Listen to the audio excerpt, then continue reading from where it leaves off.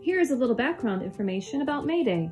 May Day is a holiday rich in history and folklore celebrating the return of spring.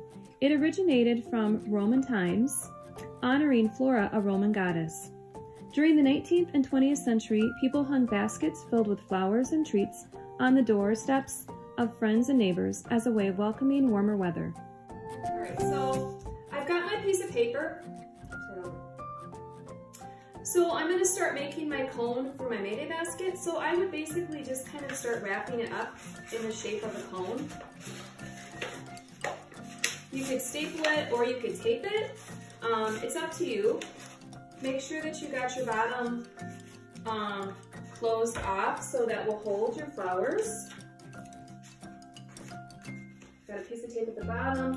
And then I usually put a piece of tape um, on the back as well, just to secure that good okay? Or you could glue it, whatever, um, decide, whatever you decide. Okay, after you have that done, you could go back and you could kind of decorate it if you wanted to add um, some color with markers, crayons, whatever you would like. It's completely up to you. If you've got other colored paper, you could cut out different shapes um, and add that as well. So we have different flowers here. Um, the first one We've got just flowers, they're cut out of construction paper. Um, and then we've just got strips of green um, paper that we put in there. Um, we took the green strips and then we kind of tied it all up, bundled it up, shoved it in, and then we just glued the flowers on top. That's pretty easy if you wanted to go that route. Um, another way is we used coffee filters for the majority of these flowers that you see today. I've got my daughter Elena here to help because she has been busy making flowers and she's been doing a super job. So she's gonna show you how to make um, these flowers here. You can see that they have two tones um, in these. These are super cute. And then we also have these right here. These actually kind of look like carnations. Um, the carnations that you would see at a flower shop. So I thought those were kind of fun too for you guys to try. Um, we also have the flowers made out of newspaper. So if you don't have coffee filters and you still kind of want that look, you can simply take newspaper um, and make some that way. And then we also have these little tiny flowers. These are super cute. Um, these are also made out of coffee filters and Q-tips. So we're gonna get started and we have this block and Elena can tell you a little bit about these flowers right here. So if you look at these right here, those are painted with what kind of colors? These are just painted on some watercolors. Mm -hmm. And then we have these, the, the Sprite Aqua and the Sprite Pink one.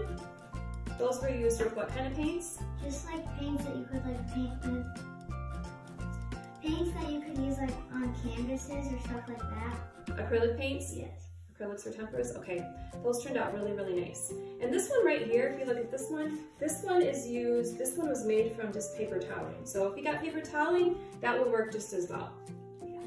So to make these types of flowers, you're going to take a coffee filter and flatten it out. And then you can paint it. And then you're going to let it dry and then you can fold it in half and then fold it again in half. And then what I like to do is just fold it a few more times like this. And then you can take a scissors and you can just like cut around. So it's like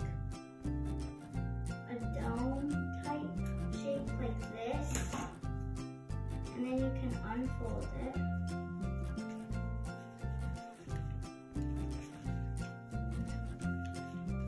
And it should look like this. That's pretty. And then you can um, like this and take your hand and you can put this on top and you can shove it down in there and you're just gonna twist the bottom twist it until it stays a lot nicer. And then you kind of like just fluff it a little. and You can smush it more together. Whatever you like. And then That's really pretty. this is what mine looks. That turned out super nice. Okay, so then for your newspaper flower, tell them how you would go about making that. How do you get your base shape? So for a newspaper flower, you would just cut a circle um, that is similar to this, like the shape, but it'd be a little smaller around, and then you would just do the same steps where you fold it in half and then fold it again, then fold it one more time, and then you would cut the top and unfold it, and then you would just fold it, and then you push it down, and you spin it like this. And if you really wanted to, you could take some watercolors and go on the edges like this. Okay, that looks nice. Okay. So for the carnation type flower, um, what I do with that, I just simply take my um, white coffee filter and I just kind of gather it together just like this. So you've got a good gather at the bottom. You kind of want to pinch it, okay? And then you kind of want to fluff it a little bit. And then what I do is I kind of cut a little bit off of the top, um, just kind of shaping it a little bit. That'll kind of add a little more, know, interest to it, I suppose. You can fluff it out a little bit, kind of like that. And then when that is done, then I start to paint um, just the tip of the, just the tips of the flowers. So if I go in, and I would just kind of go that color in here a little bit, just on the tops, all the way around like this. So for the small little flowers, you're gonna start out with a coffee filter. Um, they can either be plain or you can paint them. I've got one that I painted, and you're gonna fold it in half. And then what you'll do is you're gonna cut um,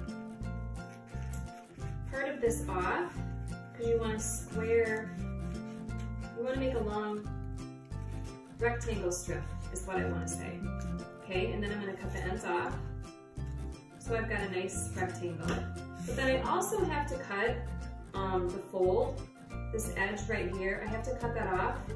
So I'm just going to stay really close to the fold because I don't want to waste my paper when I do that.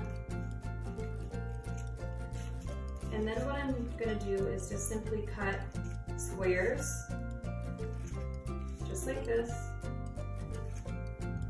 Okay, and then when I'm all finished, I could probably group maybe four of them together or so. And then what I need to do is I need to round my corners. I think that's pretty good. So I would just simply go around like this.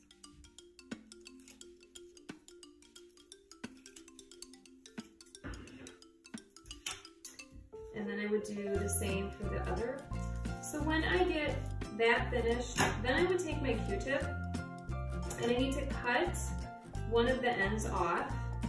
Okay, snip it off.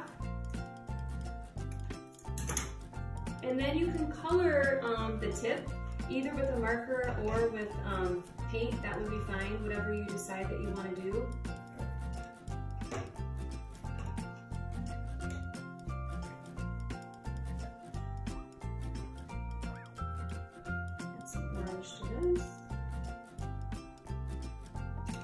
And then what you're going to do is you're going to just simply poke your Q-tip through your flower or your petals, I should say.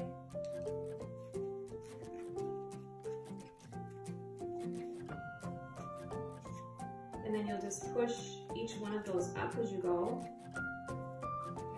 So then after you have all of your petals on, then what you would do is you would take a piece of tape um, and then just tape underneath here so it kind of makes it stay a little bit.